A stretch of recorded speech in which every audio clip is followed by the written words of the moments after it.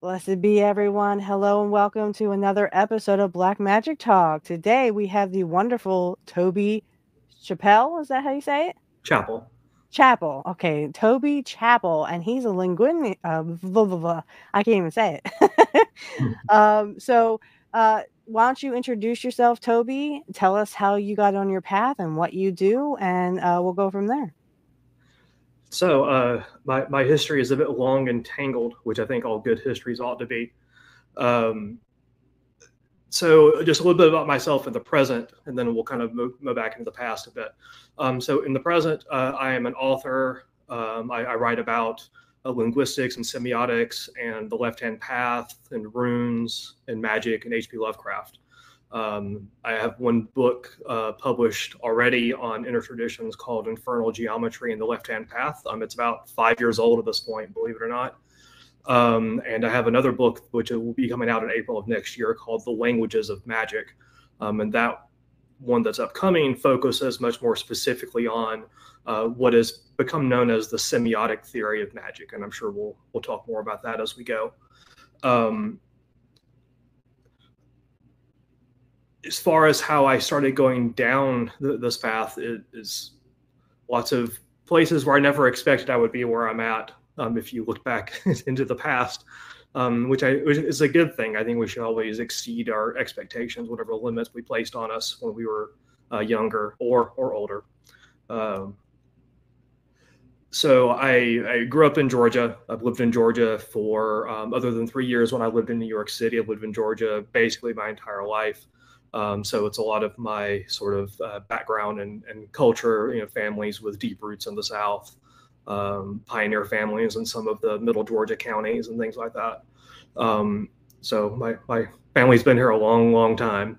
Um, and, you know, so I feel a very special connection to, to, where I'm at. Now, that being said, the, the small town where I grew up um, was kind of, you know, just a general kind of place in middle Georgia. There wasn't anything especially interesting about it um, other than being the birthplace of Doc Holliday, oddly enough. Um, but you know, my my upbringing was you know rather conventional. I think in terms of religion and and magic and that sort of thing, where it was basically not talked. your religion was sort of assumed, and ma- magic was not talked about um, because that was the, the, the them's the devil's words. Um, so you know, around age 10 or 11 or so, I discovered, uh, you know, heavy metal, uh, discovered, uh, discovered Satanism in, in, a weird and roundabout way, actually. Um, had, had sort of become exposed to some of the actual ideas of uh, Anton LaVey and, and, others. And so when that sort of became in the 80s, this big thing, this big cultural uh, question, in the, especially in the southern US, um, I knew a bit more about it than most, um, and so didn't fall for some of the the BS that was that was being said around it. And that being said, you know, when you're 12 years old, you know, you secretly think that all your favorite bands are in league with the devil and um, and all this, and then you find out later that for most of them it's just a game. But you know, there's a couple of bands that kind of make you wonder, hey, what what if? Um, and so that was kind of my my background. I was always very curious, always very um, sort of like science oriented, but also very language oriented. Um, I was really um, I, I kind of struggled to kind of which sort of direction to go in, thinking you kind of had to pick one or the other. For better or worse, I ended up picking the more uh, the the the computer science route, um, and that's where I've spent the last you know thirty or so years of, of my career doing uh, primarily server oriented uh, computer stuff. Um, but I've always had like a deep interest in language. I, I did four, four years of Latin, uh, which, uh, which is very hard to, to come by in a public school in the middle of Georgia. As it turned out, the Latin teacher there um, had a PhD um, in in Latin, uh, was a was a well respected Latin scholar, um, wanted to teach, you know, to reach younger people because you know they're more amenable to being molded, and really, you know, he he kind of fostered my love of language. Um, you know, kind of taught me uh, taught me the magic of language, if you will. Um, and that's always been a very big influence on me.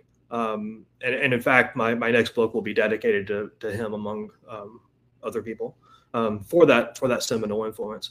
And so that that's always been kind of part of my background. So fast forward a bit when I went off to college, and of course, going from you know small town to big city, you know you're exposed to a lot of things, including um, you know other approaches to religion as well. And so I, I started kind of trying to find the others um, and find other people that had uh, you know similarly non-conventional views to mine.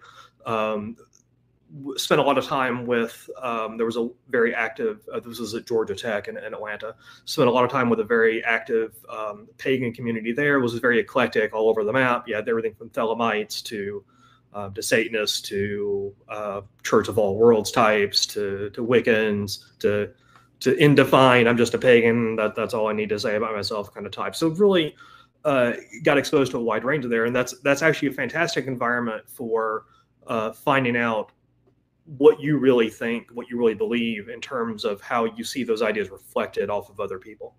Um, you know, there are a lot of discussions around what do you think about this? How do you think this works? Do you believe in this? Um, that sort of stuff. And it really did kind of um, help me kind of hone in a little bit on um, the directions that seemed viable to me um, and which ones turned out to be actually ones that I might look forward um, to as a you know as a longer term path. Um, then it was it was a few years after that, in the late 1990s, that, that I uh, first learned about. Um, well, not first, but but unknowing to myself at the time, relearned about uh, the Temple of Set. Um, thought it was interesting, wasn't quite ready to to join something that um, I couldn't meet someone that was part of first. Um, so spent a couple of years with the local uh, OTO body um, because the there was someone part that I knew. There were a couple people there that I did respect. A couple people, you know, that I didn't really care for much of what they ended up doing. But it was a very valuable experience to me. Uh, again, both in the deepening horizons, but also in just figuring out, finding people I can talk to about about these things are sort of bouncing around in my head about how the world works and how we can affect ourselves and ourselves within the world, uh, which is really what magic is at its core.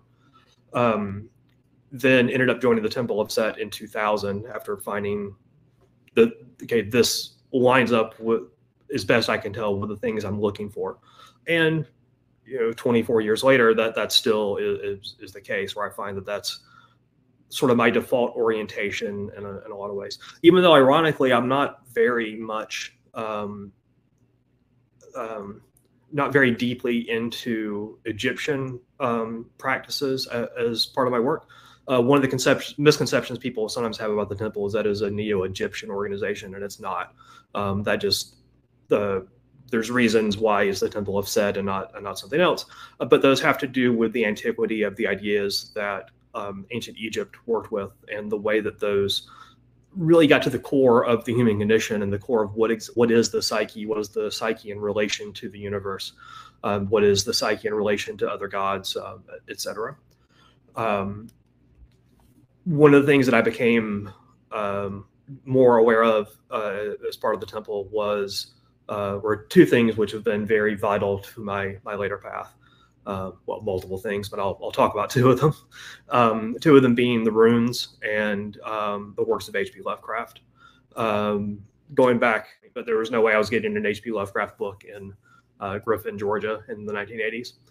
Um, but so later I, you know, both because I had people that I could talk to about these things, but also because I had resources, people that knew about these things that I could really um, talk about them with and dig deeply with, I became uh, much more interested and, and, began to work in more active ways with with both Lovecraft and with with the runes.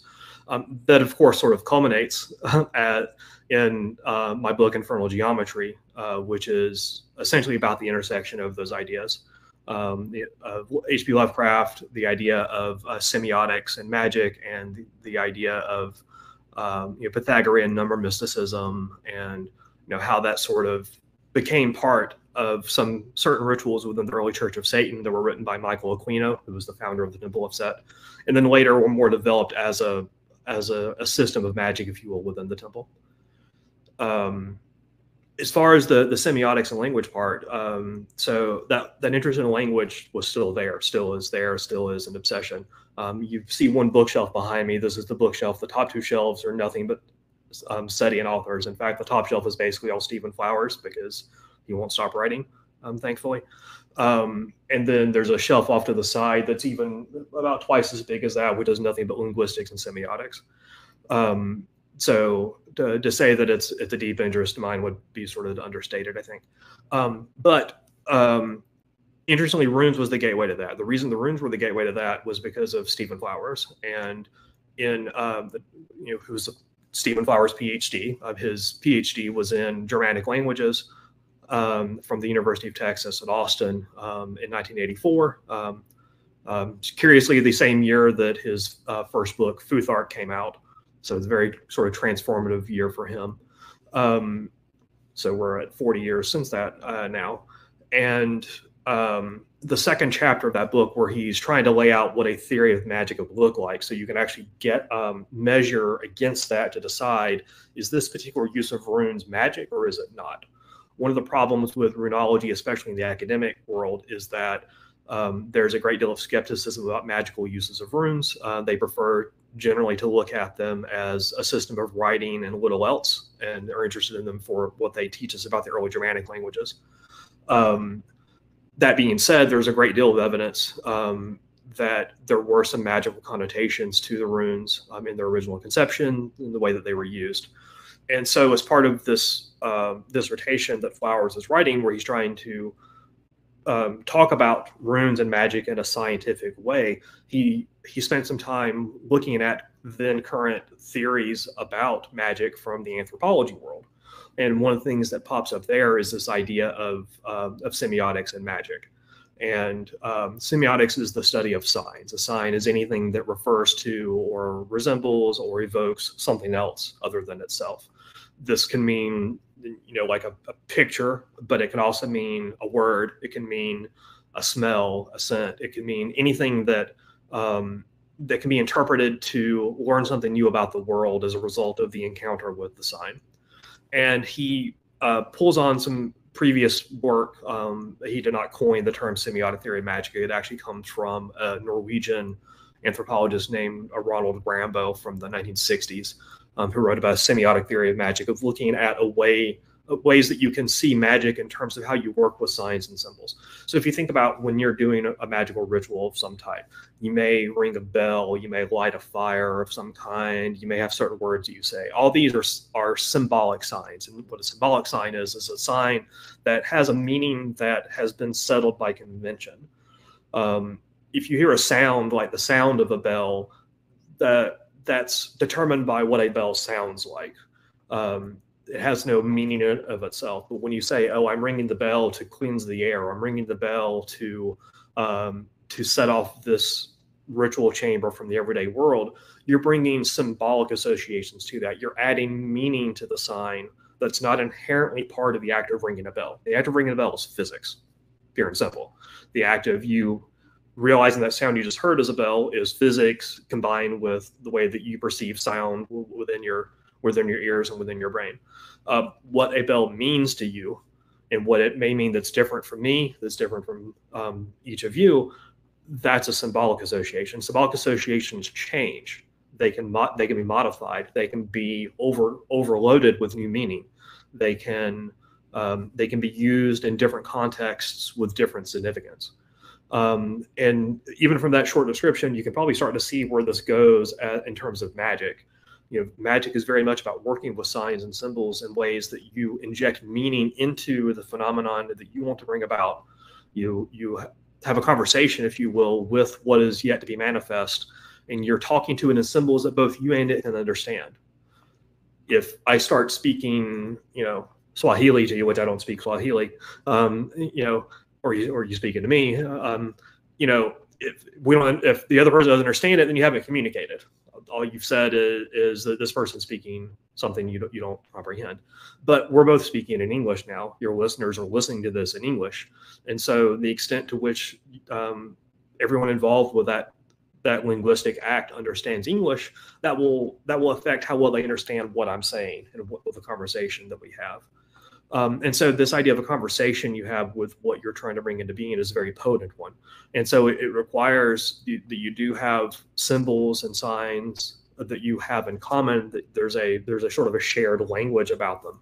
Um, but you're also just like if I start tr- um, going back to our bell example, if I start describing a bell in a new way to you, then um, I'm adding new meaning to that. We are creating new meaning and understanding together as as we both kind of get on the same page of what this means in this particular instance. Um, and again, that's part of what you're doing with magic is you're you're taking a known sign and you're shifting it slightly so that it takes on some additional meaning, and you're putting that out into um, the realm of signs um, to cause an effect. Whether that effect is meant to be on yourself or meant to be on another person or meant to be on something new that you're trying to bring in, into being. Um, the mechanism is uh, is very similar in, in that sense. Um, so to make sort of a long story short, there, um, so that taking that influence from Flowers, uh, Flowers' dissertation uh, there, that that chapter was hugely influential on me, and it that's you know has set me off on the path that I'm on now, specifically of looking at magic as a semiotic process and develop it more fully into a general, more general semiotic theory of magic. Um, he wrote specifically about the runes. There's another scholar um, um, who's uh, in the Rune Guild um, who um, wrote a book about very hardcore academic text. It was his dissertation around semiotics and the runes. It's very dense work, but that's what it has to be for what it, the audience it was written for.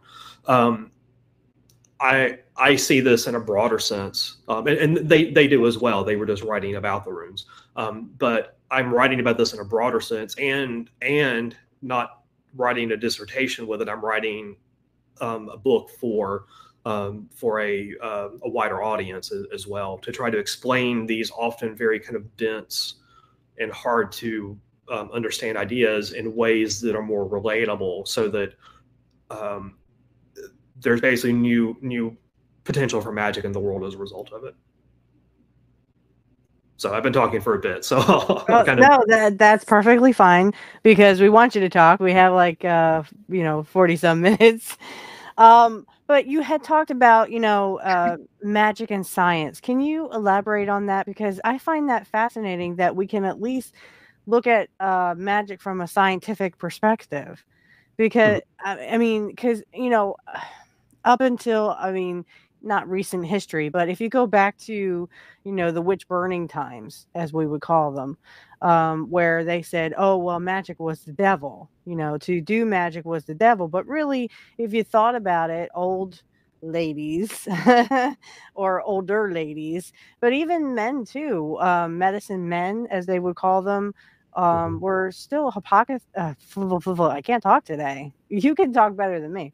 Apothecaries. Mm-hmm. Um, mm-hmm. So they were the medicine people of their time. They were doctors, nurses, uh, people we have today.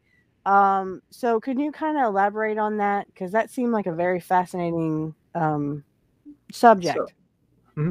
so um, the way I structured the this next book, the language of languages of magic, is um, I, I, spent quite a bit of time talking about the history and core ideas within linguistics and semiotics, but I also talk about the history of theories of magic because I want to put it in context what's different about this approach with semiotics and signs. Um, and if you look back through the, the history of magic, uh, magic as an area of study, uh, as an area of academic study, starts to become a thing in the 19th century. The reason it becomes a thing in the 19th century, um, it has to do with colonialism uh, where you have the height of the colonial area, especially uh, era, especially within uh, the British Empire and uh, with with France. Um, you you have this the sense of trying to understand why do these people in the colonies that we've stolen um, have these have these ideas that are so different from ours and with a with a healthy mix of how do we get them to have our ideas too um, and frankly, because it's colonialism, it's also how can we use this to exploit them a little bit better. So it's not a great history, but it, it, it is it's the history that happened, whether whether we like it or not. Um, and um, the first person that really starts to look at magic as a phenomenon is a it was actually the first professor of anthropology at Cambridge. Um, there was a name named, named um, E.B. Tylor, um, and he had this idea that um, you had um, you had so-called primitive people that don't understand science that don't understand religion. All they have is this crazy magic stuff. Um, and he he was actually the person that coined the term pseudoscience specifically to define what magic was and the way that he was looking at it. Um, so he because of his position and his his fame for for other reasons in, anthropology, you know, he kind of made this his kind of soapbox issue to to talk about. See, we need to teach, you know, all, all these non-English people the way so they become proper English people like like the rest of us, um, doing science and industry and all these sorts of things. Um, and he was very confused because he was approaching this from the point of view of magic is obviously bull bull crap. So why do these people believe this stupid stuff? Um, so it's not a very scientific attitude, frankly. Um, but he was like, science is the way. Anthropology is a new science. We're going to we're going to use science to look at these things and hopefully um, come to understand through science um, why these people can't understand science. Um, someone who was a sort of um, indirect protege of his named James Frazer, who, who was pretty well known, uh, wrote a, a I think like a 13 volume um, uh, book or work called The Golden Bough, a very influential book in the early 20th century um, in a wide variety of fields, um, and was very influenced by Darwin's ideas about evolution as well. And um, uh, Frazer had this idea that he kind of took from Tylor and um, developed a bit about this evolutionary model of how societies go. They start off um, believing in primitive magic, and then they evolve into um, more conventional religion, by which he meant Christianity. Um, and then they evolve into science, and then now they can discard magic. They can discard um, they can discard religion because all they have is science. Um, and this has proven to be a very intractable idea. Um, in fact, if you speak with many people today, that they will say, "Well, science means you don't need magic in, anymore," um, because because people have this idea that um, that science has somehow replaced other other forms of knowledge. This is a position that's called scientism, um, and science is is wonderful.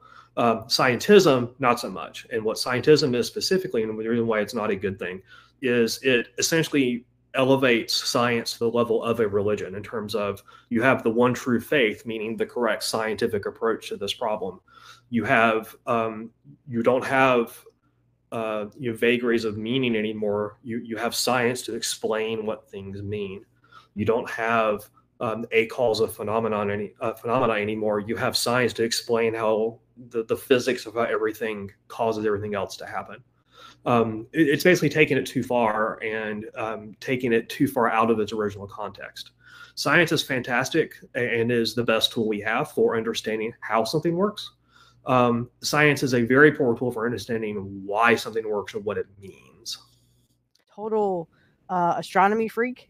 I love astronomy mm-hmm. um, because the physics of like a black hole, for example, completely out the window. I mean, they they don't follow any of the physics we have here on Earth, and obviously, I mean, it's out in the cosmos. So, um, yeah, and and I, uh, it blows my mind that so much of science came from these people who were trying to prove the existence of their religion and found something else instead. So, mm-hmm. um, well, but, but a lot of that a lot of that comes from especially um, from the, the Middle Ages onward when we start to have the rise of science as we know it, is because the uh, the church was was the place the only place you could go to get an education, um, and so there was um, there was this kind of mixed purposes that they were trying to wrestle with and sometimes they came down on the right the right balance on it sometimes they didn't. But but even with with magic one one thing that's often missed and overlooked with magic by people looking for just a quick fix um, um, is that magic nearly always must be followed up with action in the real world. Um, magic is one part of making something happen. It's not by itself the only thing. Um, and so when you when you engage in magic, it's it's necessary to to investigate what other things you need to do. Like for to take like a very kind of sort of mundane example, if you're trying to get a job, you would never just do a ritual hoping the job falls in your lap. You would then you might do a ritual to uh, to realign what you're looking for, to clarify what you need, um, to even maybe to to orient your will towards acquiring certain kinds of jobs. But then you go apply for them. You go update your resume. You do interviews um, you know, if you just do magic for for something, you are not necessarily setting yourself up for success.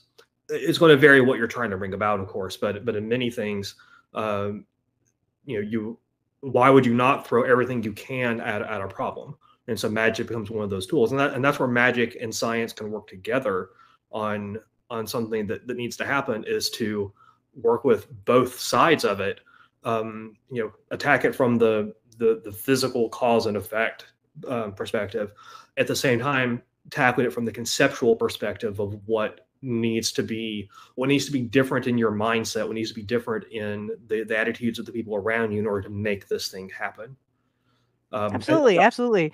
Can you talk like maybe um uh i i know that you um like manifestation like how do we get that wrong do you know like why some people can manifest stuff and other people can't um I know that's like a big topic among everybody today is, you know, why can't I man- manifest, you know, uh, a million dollars, let's say, mm-hmm. um, mm-hmm. or why can't I manifest me being wealthy and having three houses and stuff?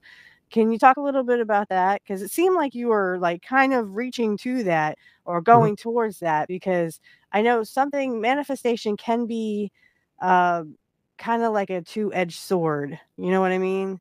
like you manifest something but then you you don't manifest something else for me it was uh getting three shows i have three podcasts that i do mm-hmm. and, and, that's cool i like that i like doing podcasts um but can you talk a little bit about like maybe why some people can manifest things easier than others maybe uh, so yeah, so there, I'm going to hit this from a couple of different angles. One, I'm um, a couple of comments on um, you know the balance factor um, in a sense, and, the, and then I'm going to borrow a couple of ideas from from Don Webb um, because I think he he basically solved solved that issue. So I'm going to uh, you know share my impression of what I think his his correct solution is to some of that.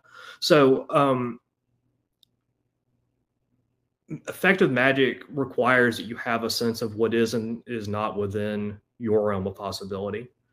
Um, you you have to um, you have to find out where things are almost but not quite settled into place so that there's still some room to affect things but by the same token you're you still have a foundation to work within and so what, what this kind of means is that if you're if you're looking um, you know for something big you have to examine is there something that's more that's more immediately attainable that you you can acquire first you can create first that creates this foundation you're going to stand on to reach the next thing. Um, you have to, if you think of magic as this ever sort of you're building up a foundation of your own self work and your and your own abilities and your own your own needs, and then you're using that not just to maintain what you already have, but to use as a jumping off point for things that are beyond that. You know, think of it in, in sort of steps you know, in, instead of just, hey, I need a million dollars. Well, well, may, maybe I need something smaller first, and that that puts me in position to, um, you know, to start this company, which then will bring this, um, you know, which then I'll um, use to, you know, to learn how to market effectively, and and then build on things to, to, to make it there. Um, I mean, you should always reach kind of just outside what you're what you think you're capable of. You know, just like if you're an athlete trying to you know to better your your time in a race for example you know you always push yourself to go a little bit beyond what you think you're capable of because that's how you grow um, and the other thing is uh, p- people will often um, aim for the stars so to speak with magic without having a good base to stand on if you're if someone is struggling to to hold down a job or struggling to move out of their parents basement. And then but at the same time they're aspiring to become a you know you know a millionaire to, to, keep using that example. It's like maybe there's other stuff you should be working on first. You know start with start with what is within within your your grasp and start with what will build foundations for even bigger and better things instead of just going straight for the bigger and better thing. Um, you know the same things that we learn about how to plan effectively um, you know apply to magic as well you know get to this level with something before you try to, to go to this next bigger level um, the idea I want to the pair of ideas I actually want to bring in from from Don Webb. Um, he has a wonderful book, his latest book on inner traditions, which is called How to Become a Modern Magus, um, which was not his original choice for the title. Um, he wanted um, a year of living magically, which I think is is a wonderful uh, approach. Although kind of Modern Magus has a certain zing to it. I'll, I'll grant it. Um, but this is a very difficult book in some ways, not because it's hard to read. It's actually his style is very um, easy to read, um, and I aspire to be one tenth the writer that he is. Um, but what's difficult is that he he tells you some things that people don't often hear when they go down the path of learning magic, which is you will fail the very vast majority of the time. This is difficult. Anything that tell any book that tells you this is easy all you have to do is, is say this is lying to you and just trying to sell you a book. Um, although it should be noted they're not making a million dollars either. So there, there's there's no there's no money in writing um, books of this type. Um, there's there's just the enduring fame of of seeing your your books on on the shelves at, at big bookstores um, but one of the things he repeats is sort of a mantra throughout the book, and this is something that he's had for years, it's not new with the book, is that the secret of magic is to transform the magician. And what that means is, is, that if you're not first and foremost doing work on yourself to turn yourself into the kind of person that can do that more aspirational work, then you're missing an important step. Now, for the you know the cases like you you describe of people that magic just seems to come to them naturally there are natural music, magicians. Or people that it just seems to kind of come to that even maybe that they don't quite understand what they're doing. Um, and I, I, think that if you talk with such people and sort of um, try to get into what exactly is going through your head when you when you when you do this and why is this just working naturally to you is probably because they have already acquired through magical means or not, that effective base from which to operate. So that instead of having to focus any of their magical energy, even if they don't think of it in those terms, on that sort of base maintenance of become a, a you know a, a stable, potent, powerful essence that can make things happen within the world, um, they've done it through other means. Um, and so that that being distracted by your your shooting for the stars, but really what you really should be concentrating on is maybe you should you know move out of you know your mom's basement. Um, that's a it, it affects what is within your your power to to work with magic. Um, and, and so that it requires a sort of self-awareness that you have to you have to know kind of what is there what's what's waiting for and and, I, I, will say that the you know the stereotypical um, you know the magician in, in, in, the parents' basement um, is an is an unfortunate you know fa- uh, facet of today's world that that that's not as easy as it used to be. I mean, I, I definitely appreciate that. So I don't want anyone to think I'm being, being. That's just sort of an old, old school example from, uh, you know, people in my generation when I was in my 20s. That was like, really, you know, maybe you should focus on on that part first and then worry about the the, the fancy fancy parts later. Um, and unfortunately, our economy is you know where we're going from, literally. Um, people like us, of course, will be the the ones who will own nothing, be happy, and eat sea bugs. Right. So, um, yeah, I totally get that. Um, I'm going to turn it over to uh, Matt right now because I have to kind of keep quiet. My son is uh, finally asleep. So uh, go ahead and take it from here. yeah, uh, something else that Don Webb said, I think something like um, instead of needing $50 a month and doing magic for that, transform yourself into someone that doesn't need $50 a month, uh, mm-hmm. which hit home for me. Uh, but yeah, it's a wonderful book he wrote. Um, I was curious how you got into the mathematics of uh, infernal geometry uh, mm-hmm. into play. So um, I, I, thought I was good at math until I went to Georgia Tech. Um, turns out, looking back on it now, uh, you know, my my favorite math class was always geometry. Um, I was fascinated by proportions and and how um, you know the different shapes interact um, and, and and how how you can break down um, know, things within within the world into geometric shapes and how those shapes interact with with each other. Um, so it was always sort of like a background kind of interesting kind of idea. And as I began to learn about more sort of um, symbolic types of magic, it it sort of uh, began to call to me.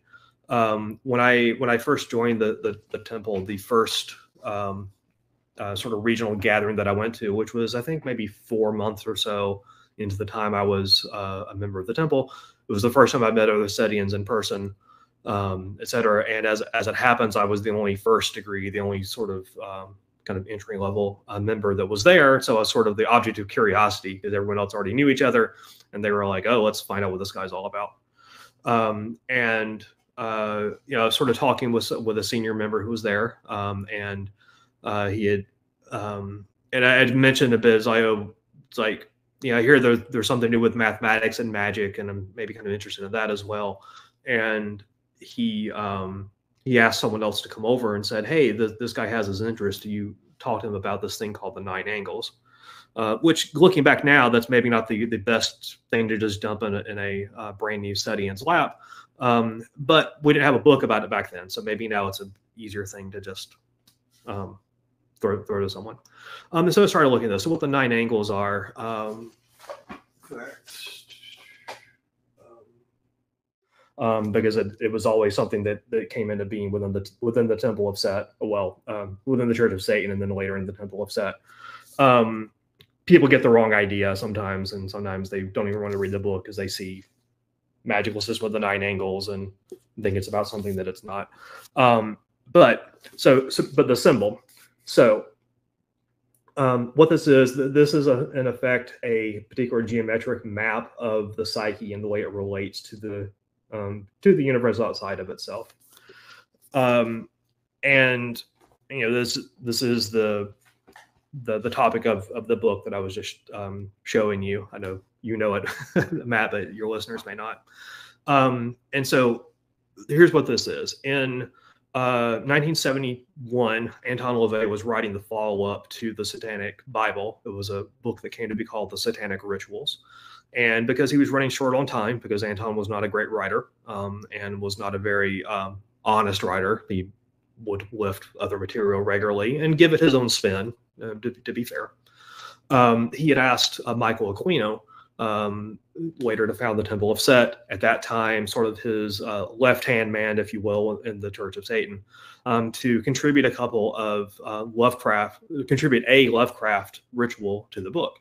Um, and so Aquino goes off and he writes uh, what was called the Ceremony of the Nine Angles um, which took a look at Pythagorean number mysticism, the the works of H.P. Lovecraft, and um, the hints of language with um, the language of the old ones in H.P. Lovecraft, and sort of brought these ideas in, into this this ritual that that kind of it didn't really try to develop a magical system of itself. It was really meant originally to be a standalone ritual, um, but it um, did have the seeds of some ideas that were later taken up by Stephen Flowers and others to to see the implications of them.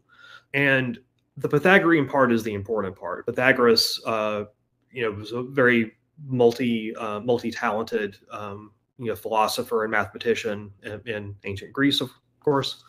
Um, and one of the things that was a characteristic of the the school that Pythagoras created and um, sort of ran was the um,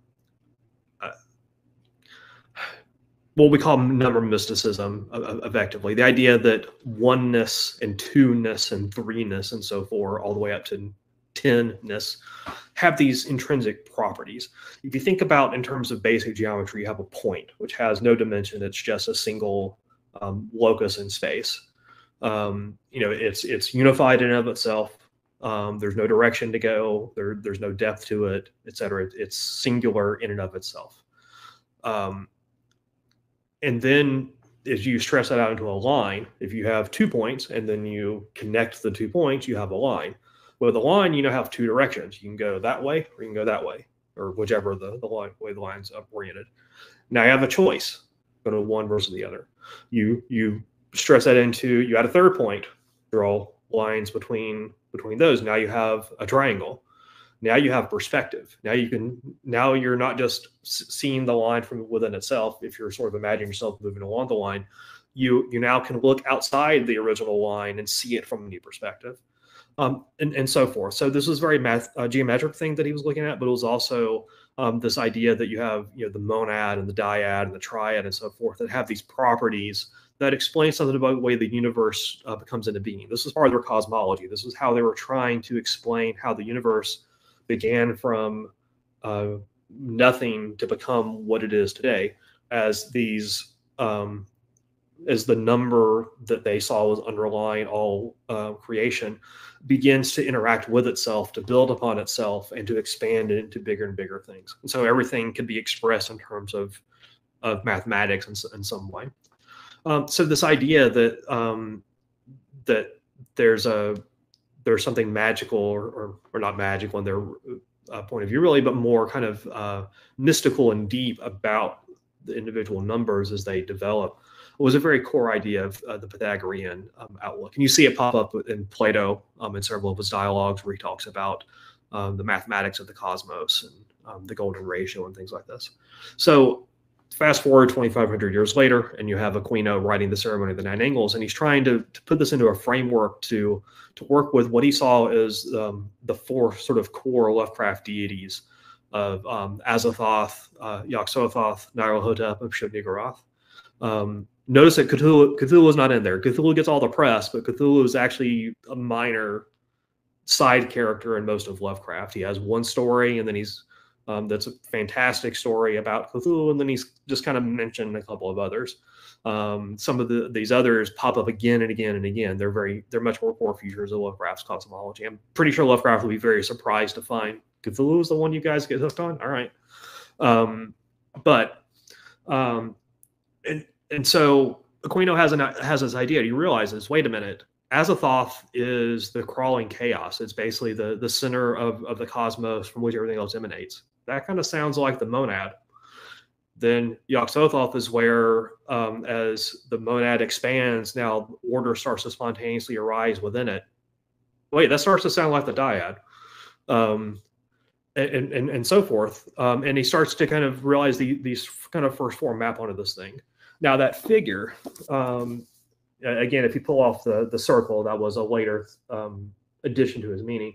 That figure of a trapezoid and a pentagram, that was actually something that was created by by LaVey. He used it as part of the Church of Satan letterhead. He didn't have a name for it. He just thought it was cool. It was part of his idea about about this order of the trapezoid, um, um, which was sort of the, this kind of behind the scenes thing that he was trying to cultivate it never really had a formal structure within the within the Church of Satan. Um, it was later developed into something very formal within the Temple of Set, um, and in fact, um, I'm, I'm, currently the head of that within within the temple, um, sort of reflecting of that that knowledge and understanding of, of these ideas and, and other things. But um, and what Aquino had was this idea that if you had the the triangle, the sorry, the trapezoid that's there, that you could think about the first um, the those four angles of the trapezoid as sort of mapping onto the um, those four Lovecraftian deities. And so we had this idea that the trapezoid is the way we see the universe, the way we we understand the objective universe. So it's not the universe itself; it's our perspective on it, it's the, our understanding of it, and the the the the pentagram within that, um, you know, very you know well known symbol connected with, with Satanism and and um, Setianism and, and, and other things things as well.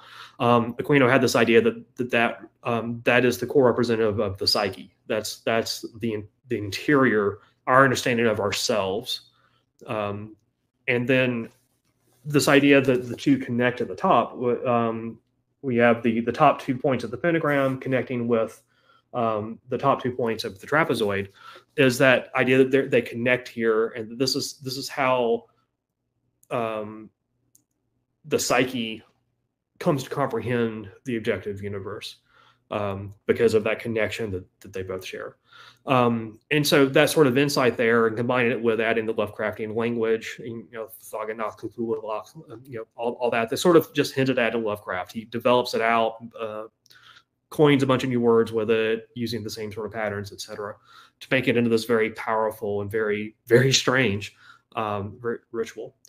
Um, and so that later becomes this kind of um, this kind of shibboleth, if you will, for for looking at mathematics through a magical lens. Um, going back very deep ideas on the Western tradition, going back to Pythagoras. Uh, you know, the ideas of Pythagoras have um, in Plato, especially, have had you know, just unspeakably broad influence are on so much that's come after them.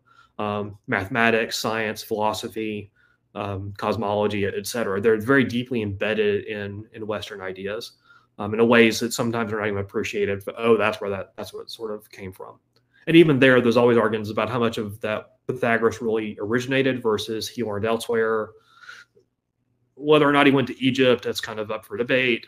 He probably um, inherited some things from um, the Zoroastrians, um, uh, which would have been not that you know just a, a, few hundred years before that, which is which was very influential in, in Mediterranean thought um, at that period of time, um, etc. Um, but anyway, the, these are very pervasive and very old ideas um, that connect these things in a very deep way. And so, you know, I look at them from a magical perspective um, and see those connections, but I can also look from a philosophical perspective um, and from the that kind of that blending of the sort of more linguistic background with that kind of scientific background as well. Interesting that you say connect the dots in a mathematical sense, but um, as a turn of phrase, it's very uh, linguistically connected. Um, I'm really interested in sayings that like survive the test of time. Um, what do you think of those, or why do they stick around uh, the way they do? Do you think? Well, in the terms of, of Plato, especially, uh, it was because his work survived we have we have a great number of documents from him compared to um, you know other philosophers uh, that predated him. We have a we have a few things, and in fact, we have lots of commentary on on some of them uh, more than original works from some of the pre-Socratic philosophers. Um, I mean, it's uncertain how much was written down, right? Because a lot of this would have been oral tradition, um, but um, but certainly a lot was, and, and in fact, um, you know, a lot of Plato's ideas survived through Aristotle um, who was his student in, in turn.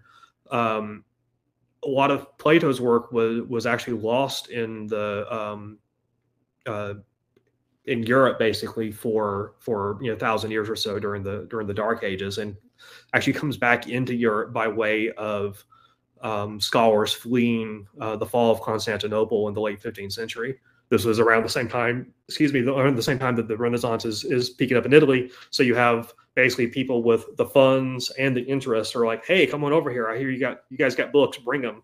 Well, I'll, I'll give you a job over here. Um, and you'll, you'll be safe. We'll protect you. We we have we have armies and stuff. Um, and, and so there's always there's always a survivorship bias uh, with with ideas like that.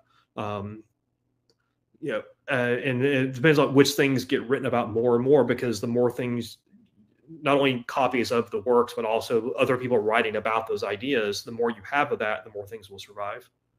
You you even see this in a much much later point of view. Um, you know, uh, the the entire corpus of Old English literature that we have, you know, things actually written in the Old English period when that was the form of English that was spoken. It, it, the sum total of that is something like three million words total. If you add up like every word we we we have in every document, just do a word count in every document that exists, add it right three million the collected works of Charles Dickens were four and a half million words. Kind of put that in perspective. And um, and so there's so much that's been lost for a variety of reasons. Um, people reusing the parchment for other things, um, books that eh, you know get burned or get reused. Oh, we, we have a better version. We don't need that anymore. Um, you like there were massive numbers of works that were lost um, in the the dissolution of the monasteries by Henry VIII when he was in the process of breaking with the Catholic Church. He basically gave everybody free license. Hey, here we don't need the monasteries anymore. Go go raid them, take what you want. And so lots of stuff gets destroyed. Um, um, but but the, what I, I was going to make about survivorship there is you know because we have like you know we we have limited number of things that, that survive. I mean, and, and very often only one copy survives. Um, but to put in perspective, there was a there was a work of popular history by Geoffrey of Monmouth uh, from around the year 800 um, called the the History of the Kings of Britain, um, which was such a popular book in both um, Britain and the continent. Like 200 copies of it still survive. So again, survivorship bias. It's like some things if it if it catches the right you know the wind and you know gets spread around enough and people write about it they talk about it they it becomes like or becomes like the thing you've got to have on your bookshelf um you know then that the thing survive even you think about now it's like sometimes like i'm sure we've all had the experience of like you know finding out a book that's like oh that's a i need to read this book um, and then find oh it's out of print, and then now you have to go hunt around finding copies, and oh they cost cost money and all this kind of stuff. So there, there there's always a big survivorship bias towards those ideas. Um, same thing with things like um, like runic inscriptions. You know, there's a limited number of them that survive from especially the Elder Futhark period from the early dec- early centuries of the, the Common Era because they were mostly written on perishable materials. They were written on wood. They were written on bone. They they don't they don't survive. Um, so yeah, so th- that's always something you have to take into account. Um, but that being said, I mean, the thing that influences people making co- more copies of a book or, or a work, people making um, references to it in other works, it does have to do with the quality of the ideas. It has to do this this touched a chord, this something about it made people like, oh, that's interesting. We want to we want to keep that idea around. Um, and yeah, it, it's a very. I mean, there's an entire study devoted to this called philology, um, where um, where it's basically you you look at documents, you look at how how documents survive and how ideas um, develop through documents, um, and and there's a lot of historical kind of look into um, you know where do certain ideas come from that's part of philology. Um, and even some people like like Nietzsche uh, was I mean we think of Nietzsche as a philosopher but his primary vocation was originally as a philologist. Um, and then he he just starts to become more and more philosophical about the way he's approaching it. Um, so so yeah so it, it's it's a it's a mix and it's always you, you always have to wonder like was there an even better idea that didn't make it? You know because like sometimes it's like now, so now it's a new idea again. Um yeah that, that's why i'm always skeptical about things that claim to be completely brand new ideas never thought before in the history of the world because it's like eh, that's a that's a hard claim to make it may, may be true um but but it is a hard claim to make uh, just because there's there's so much that's been lost either because it was only ever oral or because you know documents don't last forever not even electronic ones. That's something that's going to be a you know bigger problem as as we go along. You have you have problems with like we can't read all the original you know source code from um, you know the computers involved with the moon landing uh, because the either the the the medium that they're stored on uh, has decayed or because the the code for how to decode this particular byte sequence is gone um, et cetera you know media de- media decays. Um, I mean, there you know there are there are ways to make durable media that will last a long time, but they're not. It doesn't scale up. So you could now it's like everything we have, we should put it on this instead, so that we don't we don't lose it. And even then, if you if you have you know if you have a record and you don't know what to do with it, how would you never ever figure out that this had music on it at one point? Yeah, we've lost a lot of film like that too, unfortunately. Right. Right. Yeah. Um, we're coming up to towards the end, but um, where can people find you? Uh, we'll have the links in the description as well. Sure.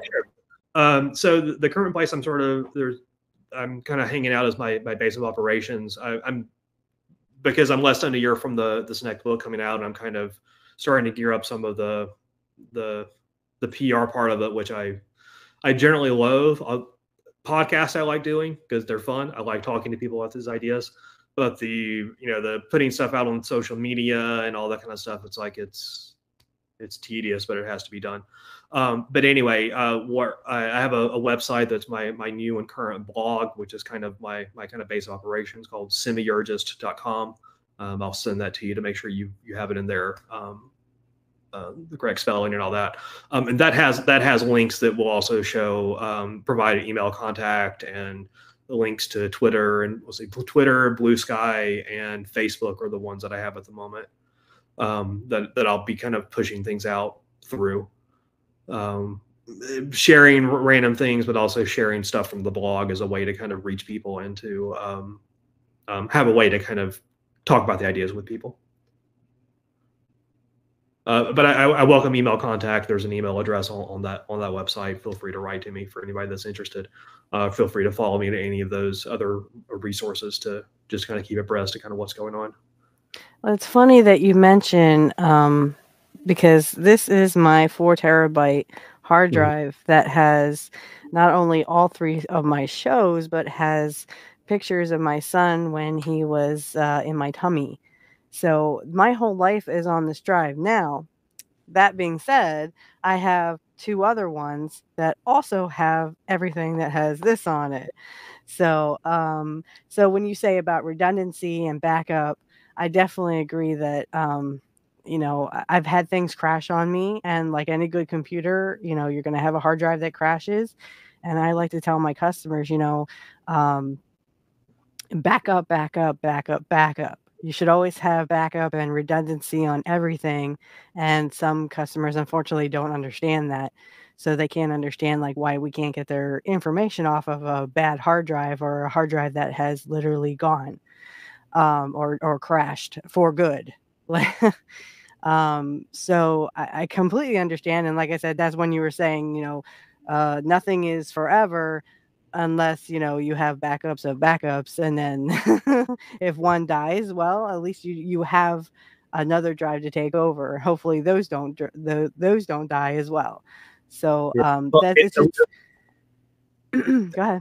We don't have the problem that we they had with you know these older documents we were talking about. Mm-hmm. if you think about 200 plus copies of jeffrey and mom with mom of this work someone wrote every single one of those out by hand. Mm-hmm. so mm-hmm you don't have to, to write out four terabytes and then make sketches of all the pictures and all that to have to have copies. Well, this to... is four terabytes. My whole life is on the thing, so yeah, yeah. So there's at least at least that small blessing from technology. A small blessing, but I wouldn't say it's a complete blessing, yep. because eventually, some days uh, or someday, uh, these will be obsoleted, and then we'll have uh, different kind of technology, kind of like those little thumb drives you see, which I do have thumb drives too. Um, they will probably take over for these bulky. Even though this is like a travel one, I can just plug this into my computer anywhere, and mm-hmm. literally just get all the stuff off of it. But I mean, we'll have even smaller hard drives because actually I do have a smaller hard drive, and it's an SSD too. So they'll be like as small as this or even smaller. This yeah. is my four terabyte SSD, which I, uh, um, I have so many family tapes on beta. mm-hmm. so I mean, technology is ever growing and ever taking over. Um, you know, several years ago, I, I had a guy come to me. The hard drive was at least one gig. The hard drive was one gig and and we was really really old. I don't even know how he was getting it, you know, getting it to boot up or anything. But it finally, after like, I don't know, it was like 30, 40 years, like the finally this hard drive crashed and it was one gig. And I couldn't get it to boot up no matter what I did. it just finally crashed after 40, 50 years. Um, so I think some things last and some things don't. um, hopefully for us that we, at you and I are in the computer field, um, you work with servers and I work with actual laptops and desktops, uh, tearing them apart and putting them back together, make sure they work for our customers. Um, it, it's, I always like to say this. Everyone's like, "Oh, well, get this uh, VPN and you'll be okay." Yeah, you won't be okay from the NSA. Mm-hmm. so, um, you know, nothing is ever secure, and if anyone ever tells you anything is secure, they're full of crap yeah, there's always anything there's, can be hacked into. Yeah, there's always a around, way around it if someone has a reason to. um, well, uh, we've come to the end of our uh, interview. I'd like to thank you, Toby, for sharing this hour with us, and we definitely have to have you back on because um, I'd like to know what what's going on in the server world uh, mm. now that I'm no longer a help desk jockey. Um, I used to be. I used to be only help desk, and now I'm more desktop support, where I'm, you know, tearing them apart, putting them back together. Like I said, for my customers. Um, so, um, yeah, mm-hmm. it feels like we only kind of scratched the surface on some of some of these things we talked about. There's there's so many other directions we could go. Oh um, my gosh! I'd be happy to do another one if, if you want to do a follow up. I, I and we could probably spend three hours on just the one subject alone. Trust me, mm-hmm. been there, done that. yeah. Yesterday well, I had um, a show and it was almost two hours. So we we spent almost two hours talking about wrestling. You know, that kind of thing. That that's my other two. Uh, channels is uh, Pro Wrestling Talk, and then uh, we also have uh, Curt Hennig was the best. Changed my mind, and this is Kurt. I don't know if you know anything about professional wrestling, Toby, but Uh, um, ask me about uh, wrestling from the '80s, and yeah, but not so okay. Did you like any certain territory? Uh, well, I, I mean, Atlanta was a major territory back then. hmm Uh, yeah, they were. Uh, There were a lot of, um, you know, we started having the big kind of like the mega, you know, territory started to happen. You know, a lot of those guys were originally from Atlanta. Mhm. Then you got the Memphis crowd. There was a lot of kind of crossover with those. Those are kind of the big. hmm Those are kind of the two of the big ones in the South. hmm Um, Yeah, yeah, Georgia and Memphis, and then they kind of converged and became WCW with the NWA.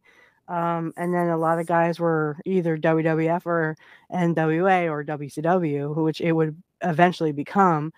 Um, and then, you know, once Vince started eating up all the territories, it kind of right. it just e- either fell you were like NWA, WCW, or you were WWF. You know, uh, my guy was in Portland and AWA, but he also did venture around. He was in Memphis, he was in Florida, he was in Puerto Rico for a while. Um, so I mean, he would eventually go to all of the territories except for California and. I don't think he there's uh he didn't go to Stampede um, which was Calgary, but he actually went to like certain parts of Canada, but just not the the Stampede and Stu Hart and Bret Hart. That's where they all kind of congregated. Well, because there was Um, a big, there was a big uh, wrestling school in Atlanta. Um, Mhm. that, the training Mhm. ground for a lot of them, not not just people that were. I mean, they would sometimes they would pick guys out of it as like, oh, like you're staying here. But sometimes it was like training ground to go to other places as well. Mhm. Um, and Yeah, they had indie circuits as well.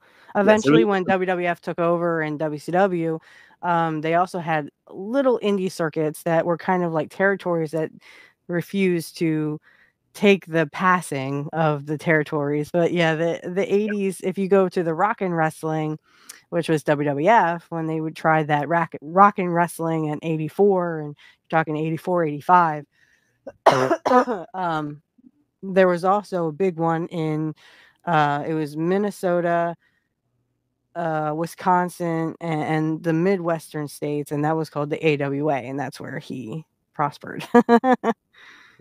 Till he went to the WWF, of course. So, I mean, uh, you're welcome on my other show if you'd like to talk about wrestling. Uh, and, I'm uh, not- I, I don't remember en- enough of the, the details about this. More, I, I- my, my my dad watched it a lot, and you know, we occasionally would would like see it like at the old Atlanta Civic Center. mhm. Um, uh, but yeah, it's it's been it's been a long time since I followed it. Mainly because like I I, I like that sort of small kind of feel to it. But um, oddly enough, one of my major semiotics influences, uh, the French uh, semiotician Roland Barthes, um, had a he had this wonderful collection uh, back in the fifties called Mythologies, and he had this idea that um, once you if you analyze um, Mm, how semiotics can help you to understand things like advertising or pro wrestling is the reason why I'm mentioning this. Um, you know, a vari- wide variety of things you could look at, popular cultural things. You look at that. Um, you look at what what are the signs in play here that are trying to convey a certain mythology around them, and then more importantly, what is what what become what is that a carrier for this the real message? For example, you know, take like a you know pretty we're, we're kind of used to being skeptical of advertising at this point, so it's actually an easy Mhm. one to kind of to kind of talk about. Um, you know, he wrote about there was um, there were some popular soap commercials, um, like for soap for like doing your laundry at home and, and whatever. There were um, they were popular in, in France at the time, uh, both on television and also and also other media.